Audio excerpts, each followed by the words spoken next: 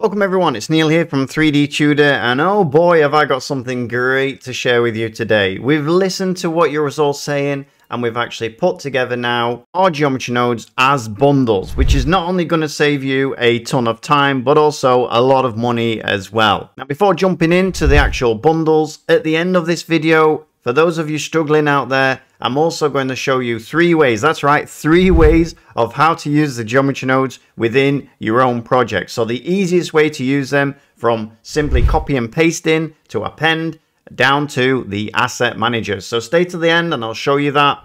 But before doing that, as always, please, please give this video a like and make sure if you're not subscribed, then hit that subscribe button as we aim to produce 100 geometry nodes. That's right, 100 geometry nodes over the next few months. And we already are well on our way there with 35 I think to close to 40 by now something like that. All right so let's get stuck in and let me tell you about these geometry node bundles so first up, all of these packs are designed to work with harmony with each other. In other words, if you get this uh, Geometry Node bundle, it should really help you with whatever you're trying to do within that particular project. So the first one we have is the Blender Fantasy VFX and Magic Geometry Node pack. So this pack is designed to make VFX a breeze. So within there, you're to find the lighting and electricity. You're to find our magic and potions. So this is great if you want to actually create swirling cauldrons or bubbles within potions. And of course, it couldn't be a VFX pack without adding in there our fire geometry node. So this lets you create things like braziers and torches with just a few clicks. And finally, to top it all off, we've also added in there our stylized waterfalls and rivers. So whether you're a game developer working on fancy worlds or a 3D artist looking to level up your portfolio, this pack will save you hours and hours of work. So moving on, the next pack we've got is our construction and pathways kit. And building complex environments can be time consuming, but with this Blender Geometry Node pack, you're going to say goodbye to most of that hassle. Now, trust me when I say this, I put a few scenes together, created a few assets in my time, and one of the hardest ones to actually create is boats. And within this actual pack, you will find our boat generator, which is incredibly useful for any type of boats that you might have. You'll also find there in there are wooden planks. This is one of my favorite geometry nodes that we've actually made because it makes creating bridges and basically anything to do with wood an absolute breeze. Also in there you will find our conveyor belt node which makes creating factories especially in the era of AI really really helpful. And finally we've also put in there our fence geometry node which makes it really easy to create fences especially going over bridges and lumps and things like this which is really really hard actually. And all of these things can be done in a few clicks it's really that simple, guys. So I personally designed this kit to speed up your workflow without sacrificing the quality of your models. So everything in there, you can be sure will be pretty high quality and easy to use. So moving on, we've got a weather and nature effects pack. And this is all about making your environments come to life. Now, if you're like me, I love 3D modeling. I love animation. I love textures. I'm not so keen on actually creating weather in environments. I love creating the environments, but creating the snow and the rain and all that stuff is not really for me. So I use this pack a lot to save me all of that time and all of that knowledge actually trying to work out how to do these things. So within this one, you're going to find everything from realistic rain and snow to fully procedural coral reefs and foliage and perfect really for any scene that you can come up with, whether you're crafting an outdoor jungle, a snowy mountaintop, or an underwater adventure. The customization options in this pack alone are endless, letting you control every aspect of the weather and environment. And so whether you're a game developer working on a dynamic world or a visual artist looking to enhance your renders, this pack will really bring your creations to life with minimal effort. That's the most important thing. If you're like me, you're pretty lazy, minimal effort, guys. Moving on then, we've got the Medieval Builders Geometry Node Kit, and this has two of the best geometry nodes we've ever created within there. One of them is hay. If you're creating anything that's kind of medieval or farms, things like this, you're going to want this geometry node because it makes creating hay really, really simple. It just simplifies the whole process. One button, click it, and then you have hay. And the other one is Bridgify. I love Bridgify. It's really easy to um, set out bridges, make little holes in the bridges and things like this. Along there though, that's not just the end of this pack though. We also have our cobblestones in there, which is great for creating paths or terrains. And we also have our brick creating in there, which is great for creating walls in a medieval theme or even realism. It can go both ways with that one. So really, really handy for construction work and environments. And what a time saver this one is. And lastly, but not least, my favorite bundle out of the whole lot is the Environment Design Pack. The ultimate geometry node for environments. And within there, you're going to get our foliage creator. First of all, you're going to get the desert one, which is absolutely amazing, saves you tons of time. Basically, you can create an environment from scratch with just a few clicks, creating all of the grass, the terrain, the cactuses, the stones and rocks and things like this.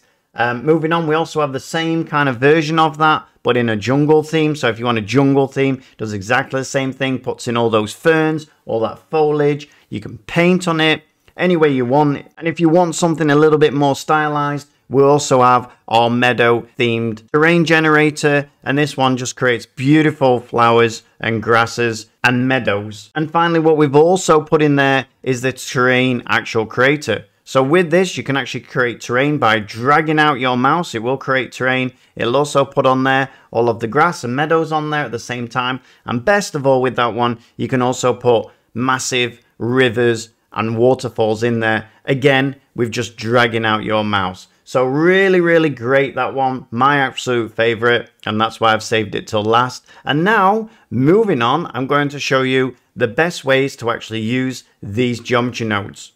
So here we are in a Blender scene and you can see here I actually have my meadow geometry node terrain here. So here it is. Here is all the plants that come along with it. Now the best thing about Control C, Control V, so basically copy and paste, is that I can just grab this. I don't even need to grab these parts and all I need to press is Control C. So once you've got it into an actual blend file, you can just Control C and bring it into another file. So I'll open a new blend file up now. So here is our brand new Blender file and what I'm going to do is just delete these out the way. So delete everything out of the way, press Control V and here it is. Now you will notice as well it comes over exactly the same space where you actually had it in the original file. But here it is now ready to actual use. What do I mean by that? Well, I mean that now we've got actually the geometry node on there. So you can see the geometry node is in there. And because it's actually in the file now, it's available to use on anything in this actual scene. So this could be a scene you're working on.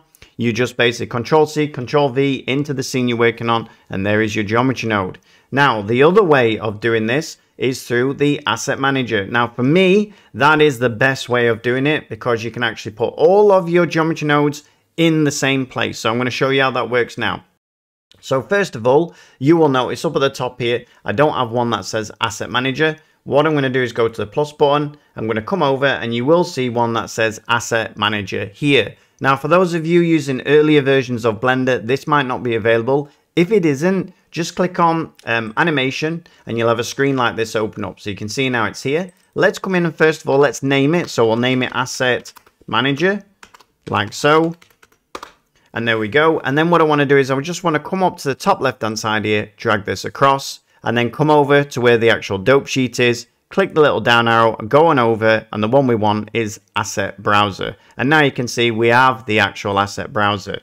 Now, how do we actually put this then into our asset browser? So how do we put this geometry node and all of the other geometry nodes into the asset browser? Really, really simple. So all I'm going to do first of all is going to come down current file and we'll see at the moment we've got all of these in. Now I'm just going to delete all these at the moment. I'm going to shift click them all, right click, clear assets, and there they go. Okay, so now I just want to put this meadow into here. So I'm going to go over to the right hand side where the actual geometry node is. I'm going to right click on this box here and click mark as asset. And there we go. There is our meadow actually in here. Now what I recommend you do is save out your file. So file, we're going to save as.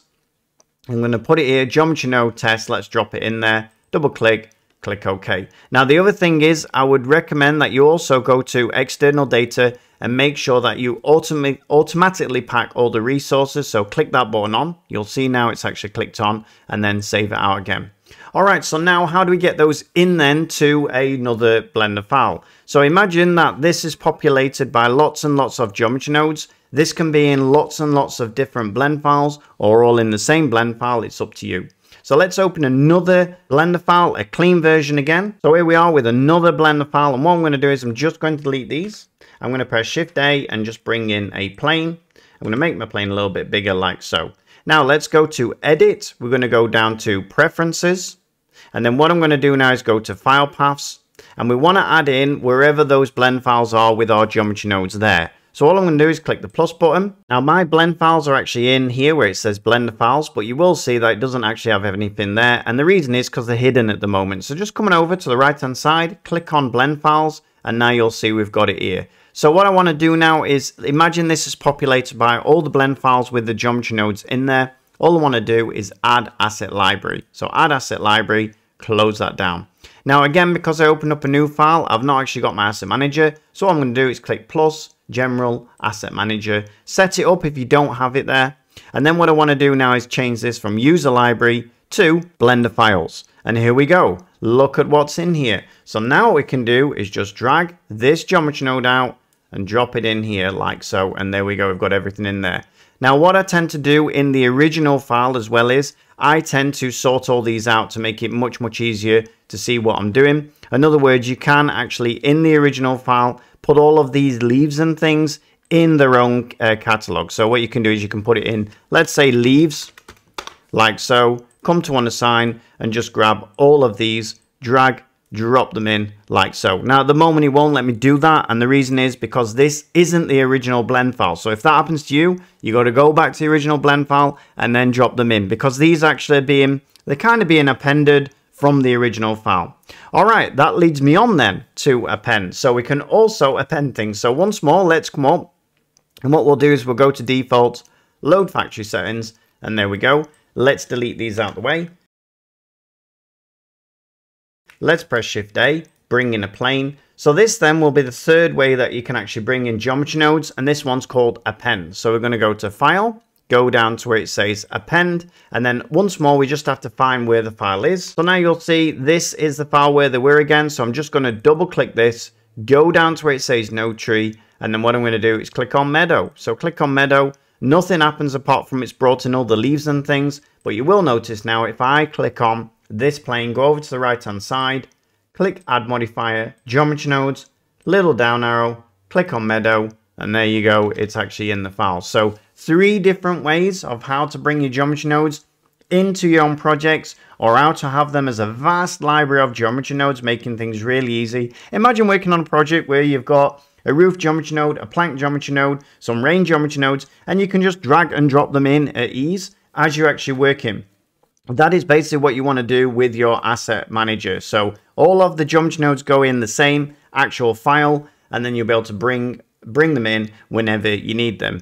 I also do this with the asset manager as well with, for instance, our BlenderCraft, which is our compositor. I also do it with our human OBJ, which gives me the right scale. I also do it with my um, sky uh, texture lighting. So everything can be dragged and dropped, same as HDRs and things like this. Makes it really, really easy to create projects. Alright everyone, so I hope you enjoyed that. I hope you love the new Geometry Node bundles, and I'll see you on the next one. Thanks everyone. Bye bye.